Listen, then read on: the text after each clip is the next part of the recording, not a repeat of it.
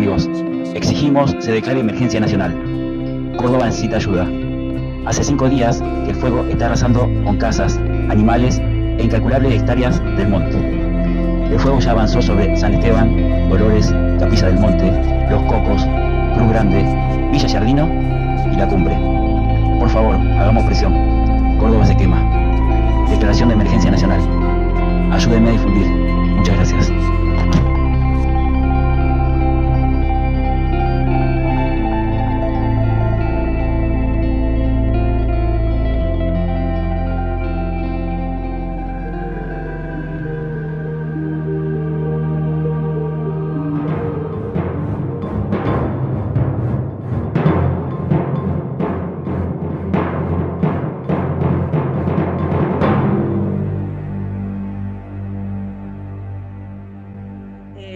Programa anterior en el canal La Escuela de la Diosa, donde mostré un poco la situación a nivel internacional, hablando un poco de Sudamérica, lo que está ocurriendo con el fuego, tanto en Brasil, en Bolivia, en Paraguay y lo que está ocurriendo en Argentina, pero en este programa específicamente nos vamos a ocupar de algo muy siniestro que está ocurriendo o que estaría ocurriendo en la zona de las sierras de Córdoba.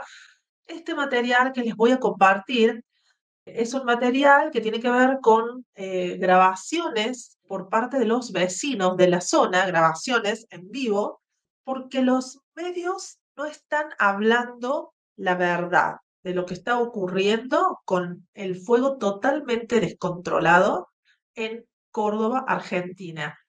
De hecho, el gobernador hizo una nota el día de hoy, salió en varios medios eh, y dijo prácticamente que había un par de detenidos, un chico de 19 años que nadie sabe quién es, que seguramente en una cuestión de horas lo van a, liberar, si es que ya no está liberado, yo calculo que sí, y que también em, va a pedir, va a pedir un incremento de las penas para aquellas personas malvadas o locas que se les ocurre andar prendiendo fuego por todos lados.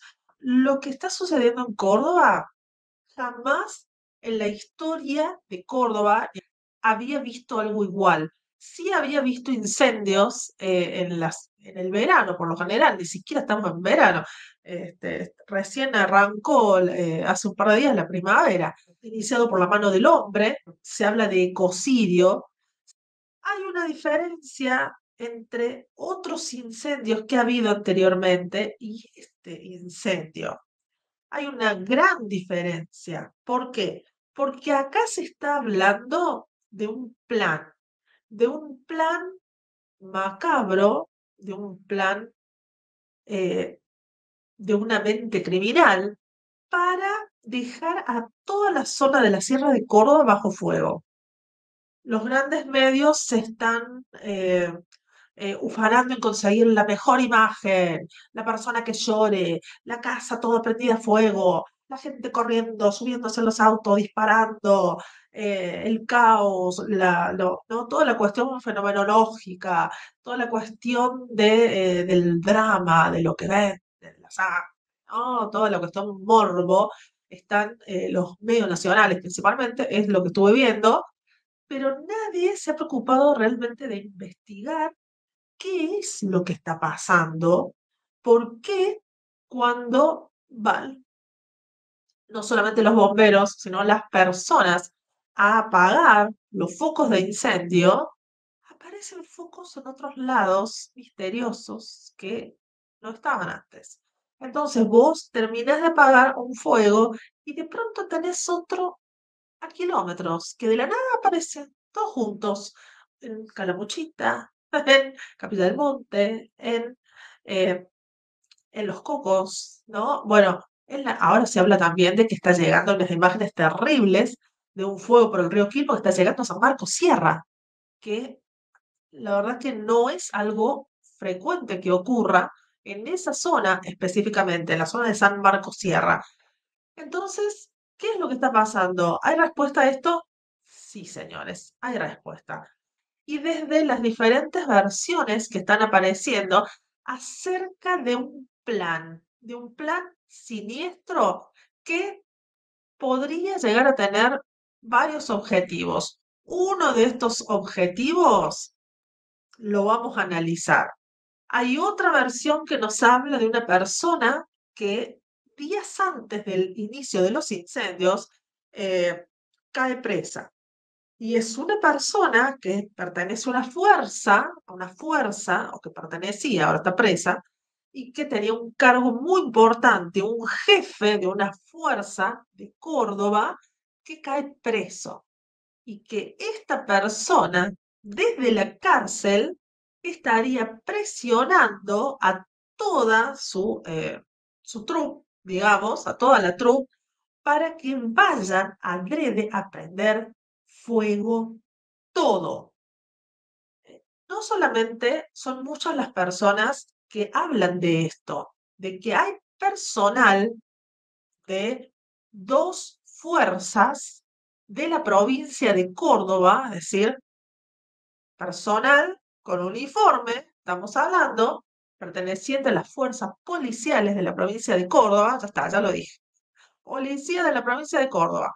Policía especial de la provincia de Córdoba, que ha sido entrenada en todo lo que tiene que ver con desastre, con fuego, ¿no? Personal especial. No es un policía común y corriente, es policía especial, que han sido preparadas, que han sido entrenadas. Les voy a mostrar las páginas donde van a ver los entrenamientos que tienen. Es decir, gente capacitada para supuestamente detener el fuego. Pero también ese conocimiento que se usa para el bien puede usarse para el mal también.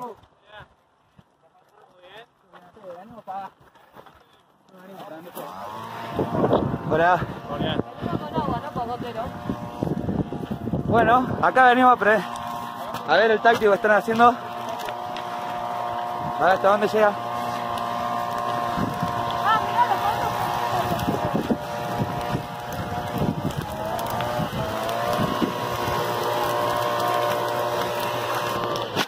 Pará, pará, pará, pará, que no vamos acá. Eso. Eso. Alta gracia acá.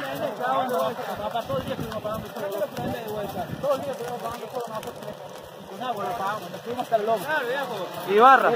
Alta gracia acá con el mechero. Quemándonos el pueblo de Capilla del Monte. La gente trabajando. Y ellos con su, todo su equipo apagando.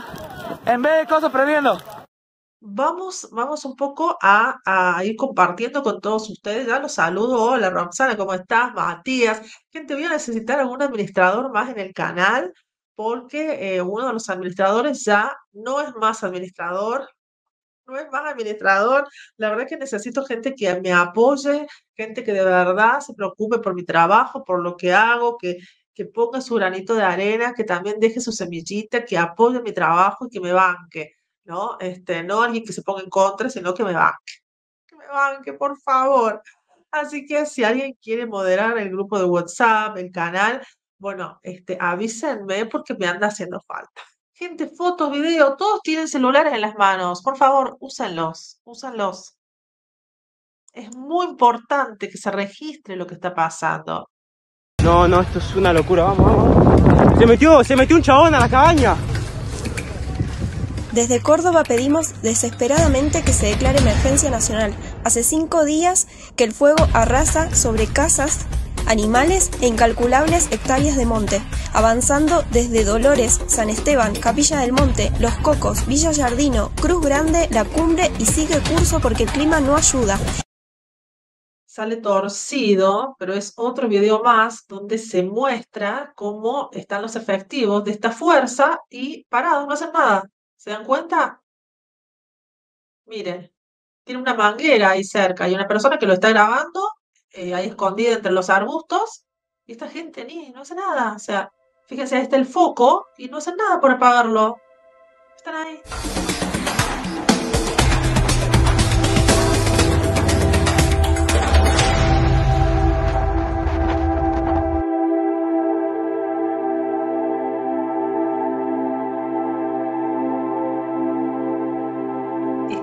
del ETAC.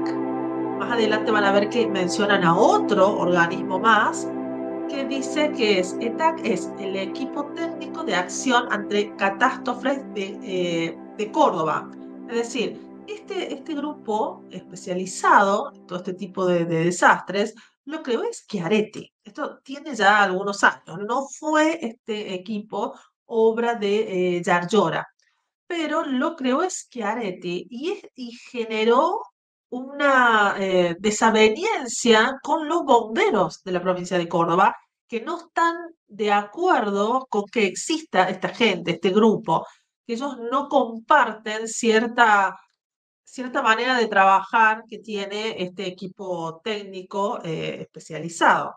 ¿no? Y bueno, eso ya lo vamos a ver porque ellos eh, hasta emitieron un documento. ETAC entonces es un grupo encargado de intervenir en la planificación, prevención y control de catástrofes, emergencias, siniestros o situaciones de desastre en la provincia. O sea, este grupo, ¿dónde opera? Opera en la provincia de Córdoba.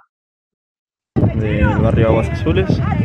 Eh, y bueno, no lo dejamos pasar porque tiene, tienen todo menos agua. Así que bueno, de todo menos agua. Ustedes escucharon eso. Está escrito, está escrito. Que lo están distribuyendo por todos lados. Esto anda por todos lados. El ETAC, dependiente de la policía, utiliza sus conocimientos tácticos y herramientas como, escuchen esto porque es increíble, mecheros, para prender y direccionar el fuego.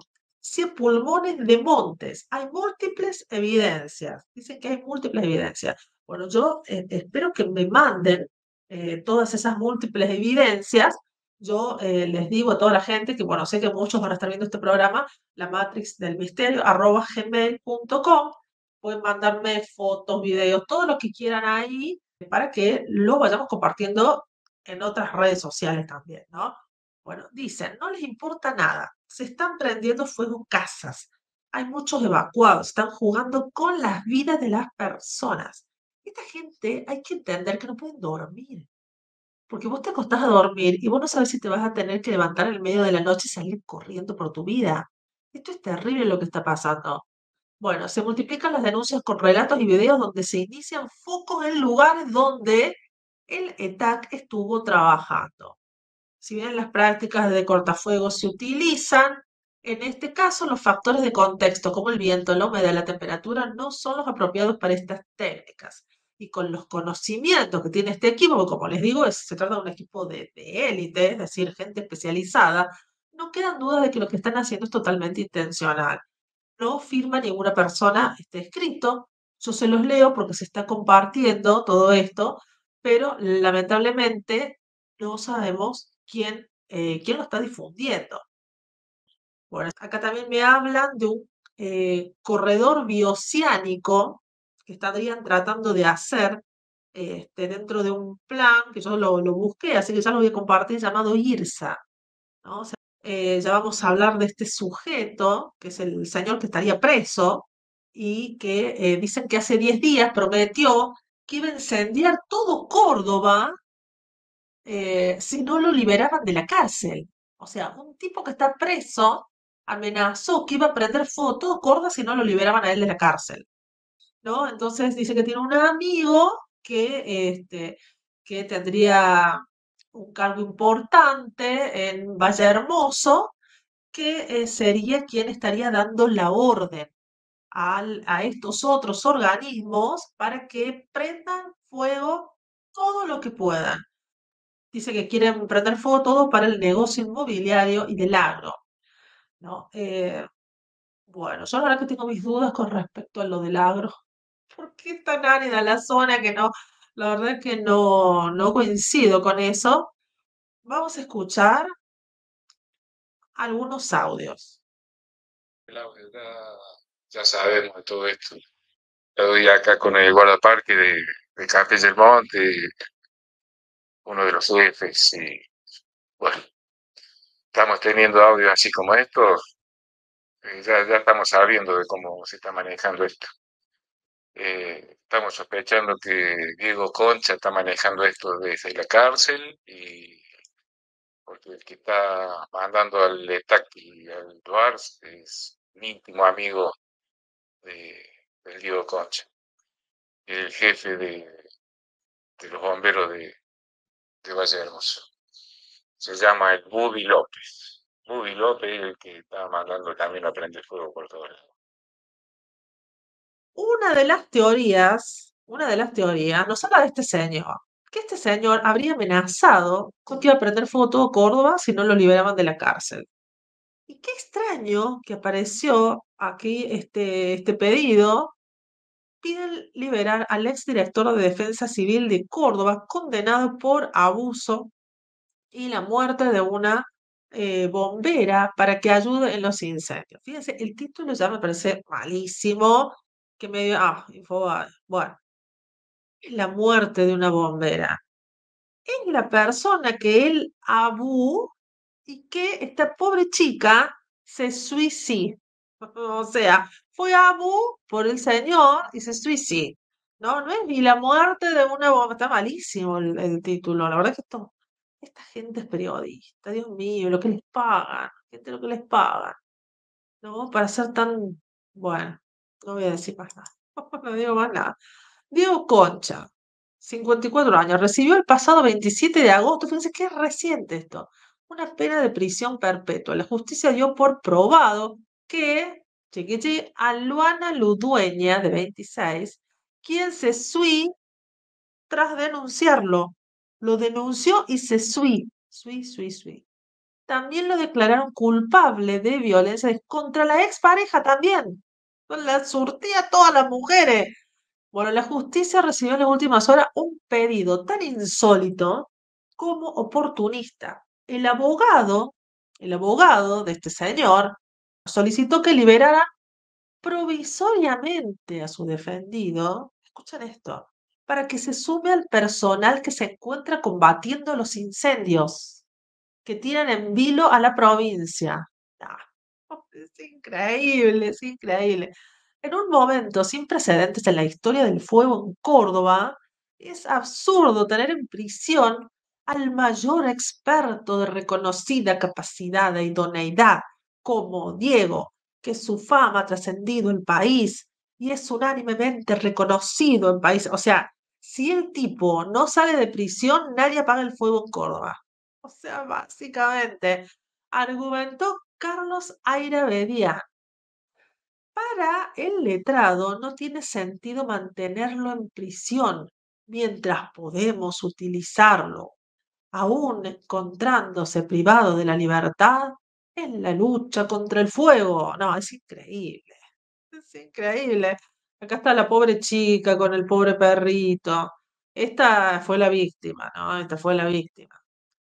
Bueno, eso es lo que una de las versiones estarían afirmando, ¿no? Después, a ver, acá tenemos, por ejemplo, uno de los organismos que vimos en el video que eh, la gente está denunciando que ellos son los que están ocasionando los incendios.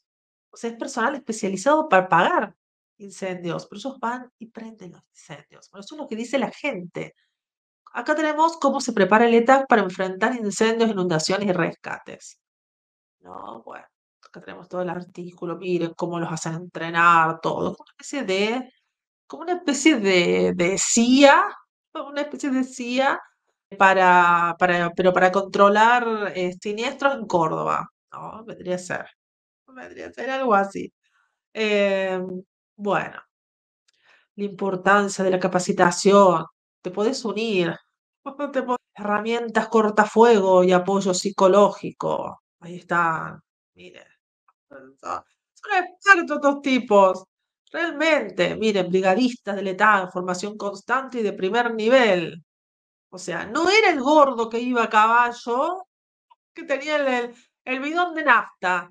No, eran estos tipos, eran estos tipos. Bueno, eso es lo que están diciendo. Bueno, y aquí tenemos el otro grupo que es señalado junto con el ETAC, que este es el DUAR. Estas son capacitaciones de departamento, unidades de alto riesgo. Bueno, yo les muestro todo esto, porque esto tiene página, esto, bueno, tiene publicidad, este, te puedes decir, puedes formarte.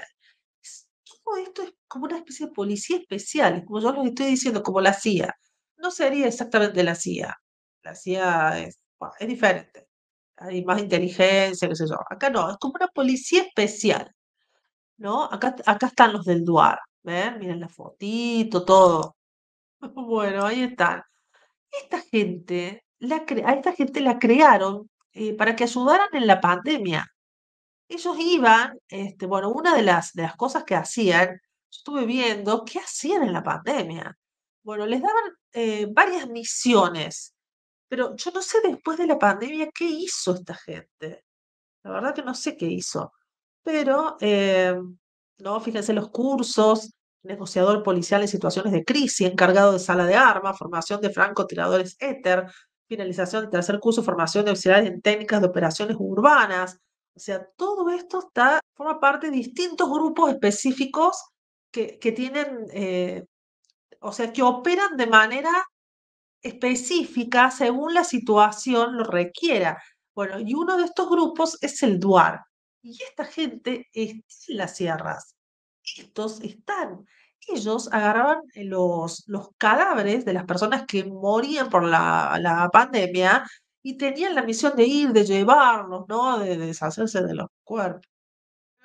Este, era terrible la visión que les daban en, en la pandemia, pero yo no sé exactamente, salvo este, acompañar desinfecciones, yo la verdad que no tengo mucha idea qué más hicieron, pero allí es cuando empezamos a escuchar hablar de este DUAR, ¿no? Del DUAR. Y, la, el otro equipo, el otro equipo, el STAC, yo la verdad no lo conocía, que estaría de alguna manera reemplazando el trabajo de los bomberos, creo que no hay mucha diferencia entre lo que hacen los bomberos y lo que hacen ellos. Nada más que eh, serían personas más especializadas. Fíjense esto. Seguridad. Nuevos agentes policiales se incorporan al DUAR. ¿no? Esto fue 2019. ¿Qué les dije? 2019 fue el año clave para el DUAR. Por eso que me llama mucho la atención que esta, esta gente esté también este, en la zona de los incendios. Córdoba en llamas. Bomberos enfrentan agresiones de propietarios de tierras. La gente les tiraba piedras a los, a los autos, a los vehículos de los bomberos. Se reportan agresiones físicas y verbales hacia los bomberos voluntarios por parte de propietarios de tierras que se oponen a su intervención. Denuncia que estas agresiones dificultan el acceso a los incendios. No, no, no, terrible esto, terrible. Bueno, miren cómo le dejaron ahí el vidrio. Muy bueno. Pero ¿por qué sucede esto? Porque se decía que eran los bomberos los que prendían fuego. Por eso es que la gente se empezó a pasar la información a través de las redes y empezaron a atacarlos. Y después comenzaron a darse cuenta de que no solamente estaban los bomberos. eh, esto tiene que ver con una de las hipótesis que habla de este proyecto, fíjense, este gran proyecto que eh, uniría, o sea, que atravesaría varios países, un corredor ferroviario bioceánico de integración, este, este sería el tramo boliviano, pero un gran corredor que podría incluso también este, realizarse algún corredor en Argentina, un corredor bioceánico. Esta es otra de las teorías de las cuales eh, se está hablando en, en este momento. A ver si es este. Y yo creo que decían lo de mm, Aguas Azules B, porque en un momento se venía para acá como para querer cruzar la ruta. A ver, vamos a adelantar un fue para nosotros, hay mucho capital y se formaron, se terminan de hacer oficiales 2021, después de la pandemia. Eh, para mí hay que estar muy atentos con esta gente porque trabajan para, para otros intereses y, tienen vía libre, están por encima de bomberos, están por encima de la policía, ellos tienen vía libre de hacer y deshacer como quieran, son, son autoridad eh, en cuanto en estas situaciones, o sea, tienen la autoridad, ellos bajan línea y, son muy sospechosos, o sea, cuando todo está tranquilo, ellos andan eh, de a varias camionetas rondando y de repente después tener focos de fuego o líneas de fuego. Eh, yo creo que la gente se tiene que despabilar y estar atentos a estos movimientos porque, claro, estamos todos tan enojados que ahora sé que fueron contra bomberos y todo, que los bomberos voluntarios son como los brigadistas. Los otros bomberos son policías, mente cuadrada, eh, reciben órdenes, pero estar atentos que ETAC es una fuerza que va por fuera y que tiene sus propios intereses, responde a, intereses de... Eh, un ecocidio y eh, terror en las personas. O sea, vendría a ser como un acto terro-terro, ya saben, hay palabras que no les gusta a YouTube, pero este, básicamente generar un ecocidio y infundir el terror en la población, ¿no? Básicamente ellos están para eso, o sea, esa es la orden que les han dado. Hay testigos, hay testimonios de gente que efectivamente los, los ha visto. Chicos, esto es muy triste, ¿eh? esto es muy triste. Sinceramente estábamos ahí a casi dos kilómetros de acá de casa. Estábamos tratando de contener todo las brasas, haciendo la guardia de ceniza. Brigadistas, varios vecinos, varios vecinos. Lo teníamos bastante contenido. Estaba acá también nuestro profesor, Omar Riachi, con sus dos hijos, con su mujer, todos luchando, loco. Son muchos, ¿eh? Muchos luchando con esto. Y no me van a creer lo que pasó. Llegaron cuatro personas del TAC, dos subieron para arriba con Omar y con sus hijos. Todos se quedaron en la otra lomada con nosotros y cuando nos dimos vuelta nos prendieron fuego, loco. Nos prendieron fuego. Se lo juro, se lo juro por mi vieja, se lo juro por mi hijo, loco. Me prendieron fuego arriba. Recién tuvimos que abandonar, loco. Recién tuvimos que abandonar. El DUAR y el ETAC son una... Los bomberos eran los que no tenían nada que ver.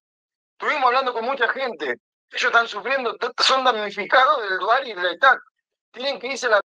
Casi nos prenden fuego, loco. Mucha gente estaba muy arriba, éramos más de 100 personas tratando de apagar todo y tuvimos que abandonar, loco. Está acá un kilómetro y piquito de mi casa, boludo un kilómetro y pico, nos prendieron fuego en la, espalda, loco, nos prendieron fuego. Eh. Son los hijos de puta, loco. Hijos de puta, estamos pasando terriblemente mal, boludo. Necesitamos gente con huevo para que nos den la mano a llenar las mochilas de los brigadistas. Estamos en la corrida entre todo la ceniza y el fuego, loco. Esto no puede ser, boludo. Nos están prendiendo fuego, ¿eh? Y nos van a seguir prendiendo.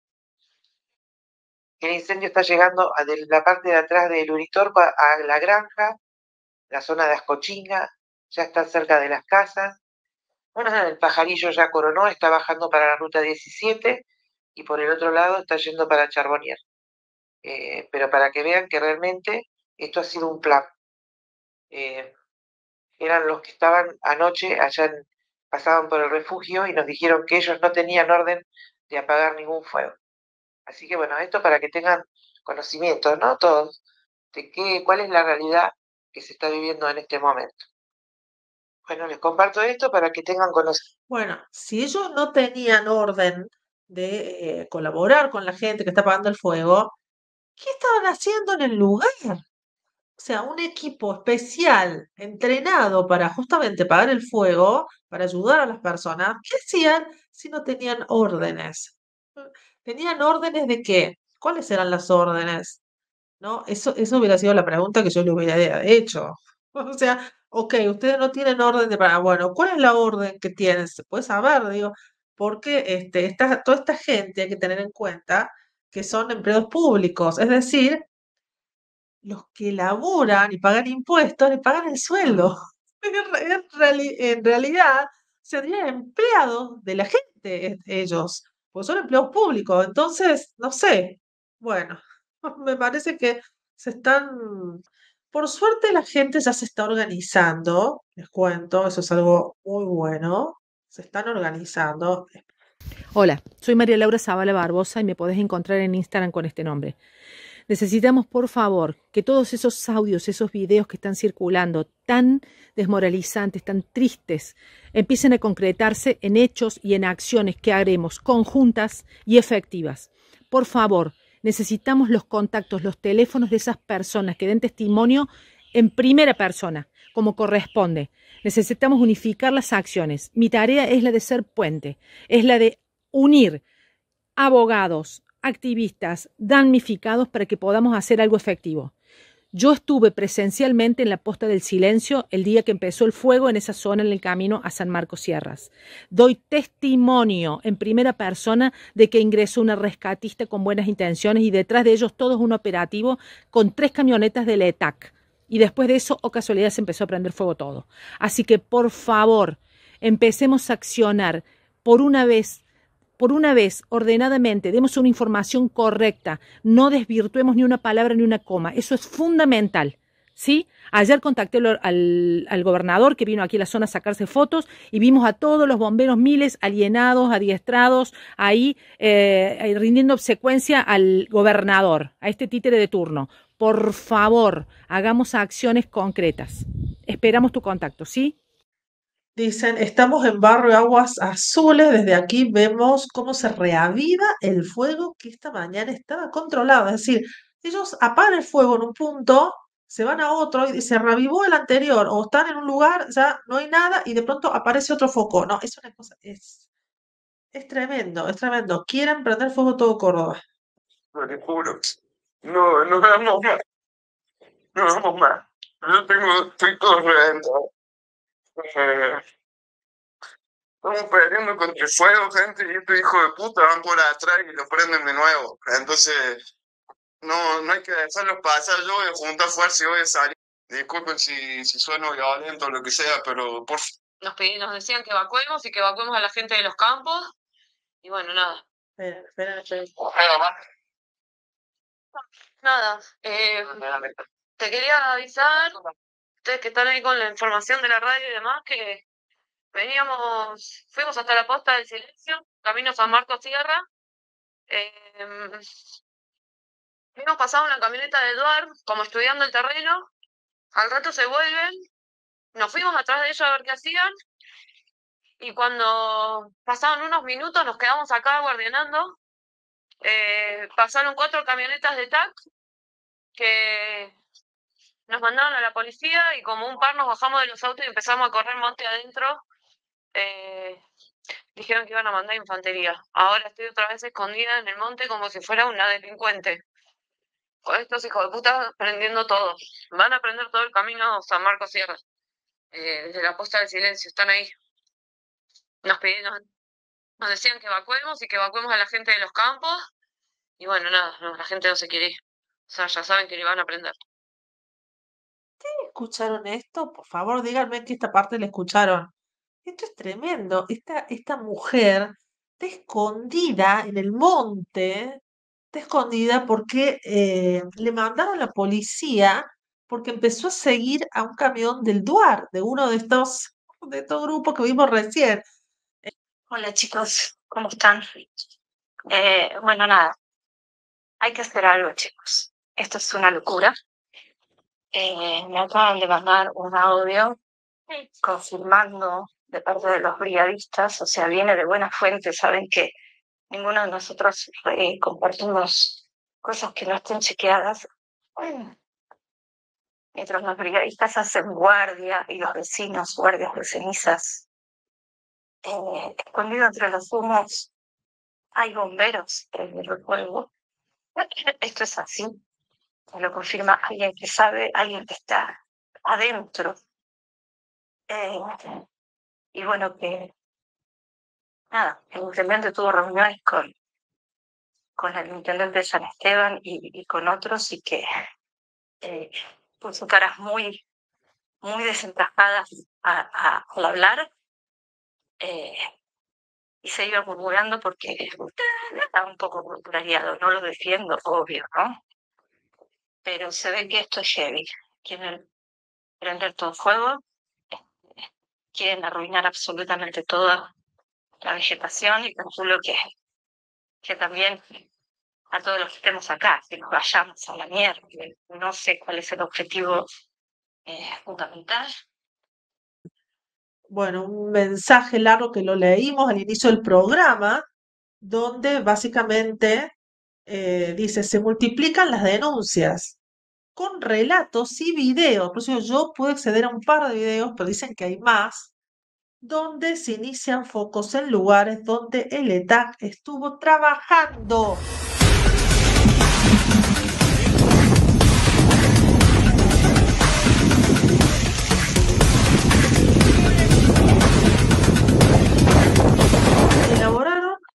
Documento, un documento La Federación de Bomberos Voluntarios de la provincia de Córdoba ratifica su desacuerdo, escuchen, porque se quieren despegar como sea, y no acompañamiento al proyecto ETAC, Equipos Técnicos Anticatástrofes, presentado por la Secretaría de Gestión de Riesgo del Gobierno Provincial, considerando que cómo se fundamenta a continuación desde tres ejes de análisis que pone en riesgo al sistema de bomberos voluntarios de la provincia de Córdoba. ¿no? Ya hay un tema con los bomberos y este organismo.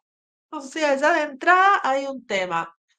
Eh, esta federación siempre estuvo dispuesta al diálogo y al trabajo conjunto a través de una mesa técnica de trabajo permanente, ¿no? En pos de integrar una propuesta superadora que permita optimizar la estructura, eje sociojurídico. No acordamos ni acompañamos el proyecto de ETAC porque afecta lo dispuesto por las leyes y reglamentos provinciales y nacionales superpone funciones enmarcadas en la ley chiquititi y la ley chiquititi generando una estructura paralela. ¿Qué decían los audios que escuchamos? Uno sobre todo los audios, que ellos tenían una estructura paralela, o sea que ellos eh, no estaban enmarcados necesariamente bajo el ala de este, algún organismo específico, sino que eran como una organización paralela, ¿no? Como la CIA, por ejemplo. Bueno, yo caigo en esa comparación, que no es la ideal, pero es como si tuvieran un organigrama propio, un poder propio. Eh, fíjense que no tienen las mismas órdenes que los bomberos. ¿Para qué van los bomberos? ¿A apagar el fuego? ¿Para qué van ellos? Nadie sabe, nadie sabe. ¿no? Entonces, eh, realmente son una, una organización paralela. No acordamos ni acompañamos el proyecto porque no define ni fundamenta con claridad el objetivo. Yo creo que en realidad tienen muy claro el objetivo. Yo creo que lo tienen re claro. solamente que no lo, eh, no lo, no lo dan a difusión, ¿no? Este, evidentemente ellos están cumpliendo órdenes. Yo no creo que ellos hagan lo que quieran. Eh, me parece que ellos están acatando órdenes. Eh, no sabemos de quién, no sabemos de quién podemos sospechar que, es, de, que pueden ser órdenes del gobernador, porque esto sabemos que fue creado por Schiaretti y que pertenece a la provincia de Córdoba. no acordamos ni acompañamos el proyecto de TAC porque nos preocupa como bomberos y como ciudadanos que siendo las políticas de prevención competencia del gobierno, la Secretaría a cargo no haya podido articular en todos estos años con sus organismos una política de prevención. ¿no? En consecuencia, se asume que Córdoba adolece de un plan de prevención de riesgos y de un mapa de riesgos que recién comenzaría a trabajarse desde el ETA. Bueno, no, es terrible. Genera violencia social e institucional. Fíjense lo que dicen los bomberos. Desconoce el verdadero rol y competencia del gobierno provincial en las políticas de prevención y protección civil promueve el desmembramiento de las instituciones de la sociedad civil como la de bomberos voluntarios. Ellos, claro, se sienten amenazados por este organismo, ¿no? Por eso, de alguna manera, ellos eh, lanzan esta, esta orden. Y bueno, y para finalizar, lo que tengo para mostrarles, ha ocurrido un verdadero milagro. Fíjense esto, ha quedado en pie una virgen. Eh, intacta, en medio de cenizas. Esto ya pasó varias veces es muy significativo, es muy significativo. Eh, bueno, acá van a saltar las alarmas seguramente si yo les comparto esto, pero bueno, vamos a compartir unos pocos segundos.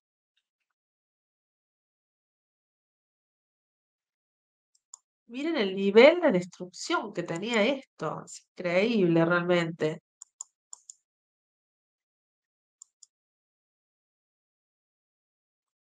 Y ahí la Virgen. Está intacta.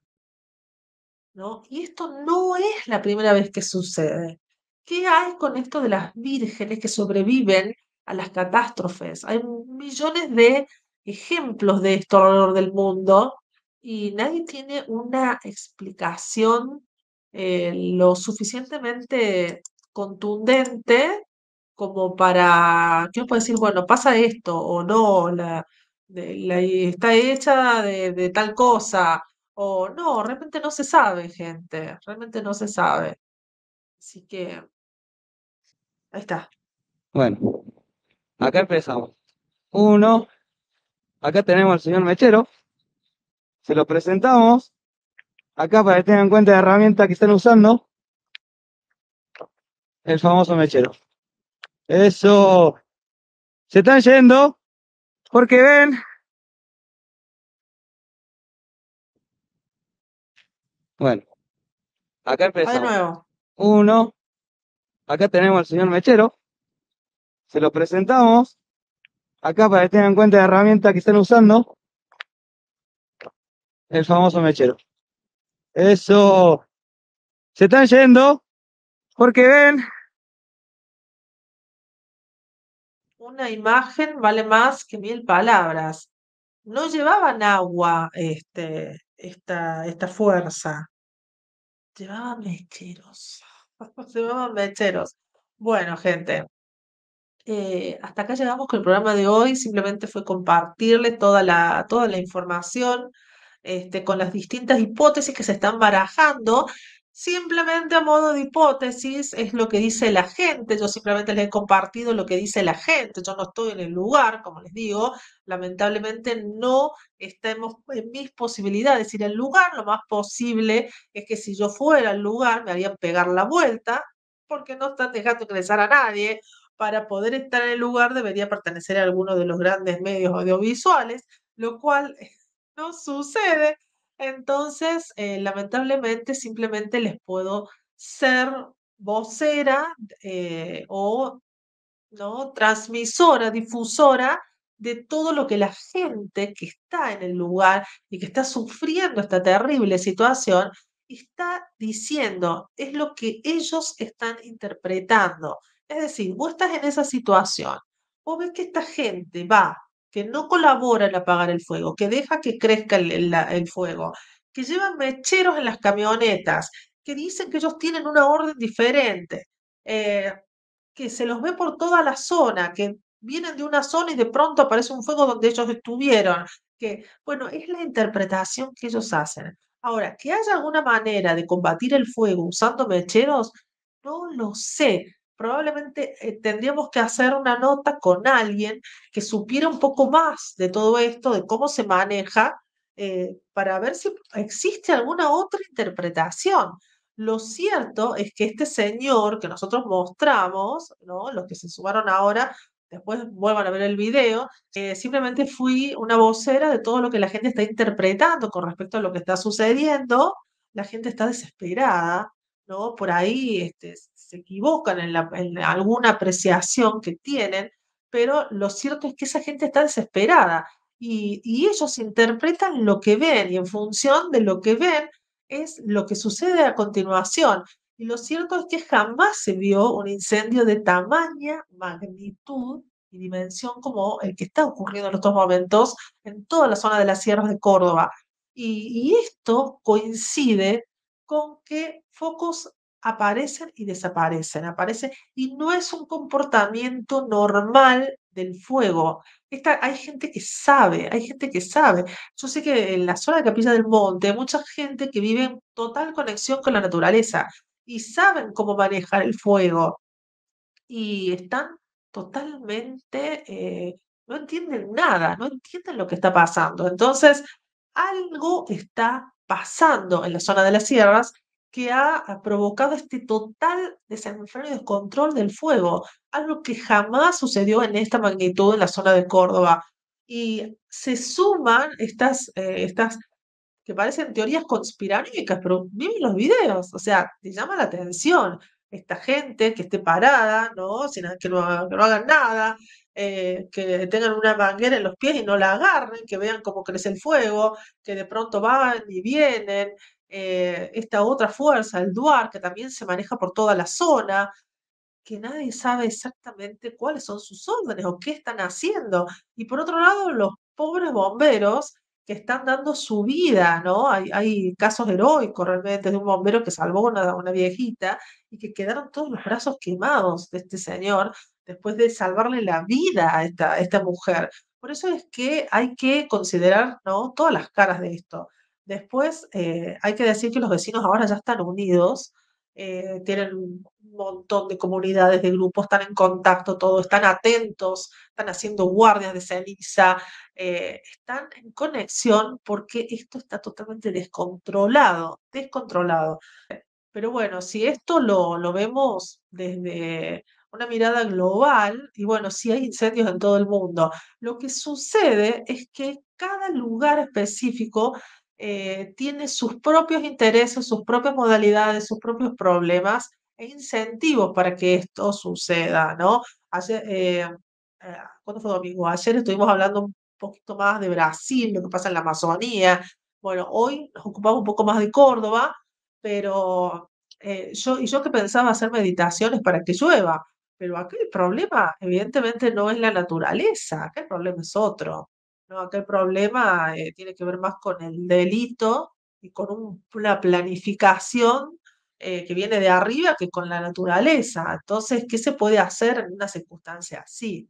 ¿No? Realmente es, es muy difícil. Yo sé que esto me, me puede llegar a traer consecuencias, yo sé que me puede traer consecuencias, eh, pero considero importante que se difunda, que se difundan todas las voces, eh, todo lo que la gente desesperada este, está queriendo decir, está queriendo expresar.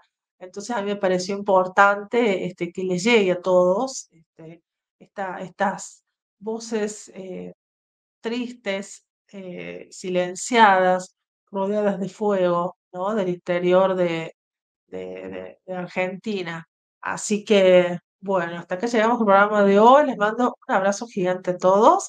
Nos vemos mañana en el estreno y un poco antes en, mi cuenta principal de Facebook, este, hablando un poco más de todo esto. Bueno, chao gente, chao todos, chao, chao.